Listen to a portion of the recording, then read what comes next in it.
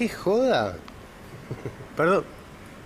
Los carteles de Ricardo Ford frente a la universidad es una broma interna. es- una broma de un compañero que siempre hace. Me imaginaba, porque la va cambiando.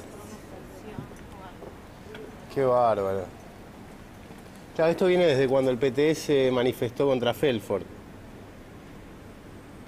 Deberías estar informada si es una broma de un compañero.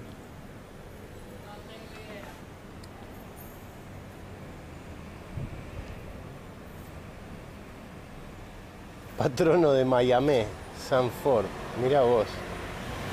1.com.ar.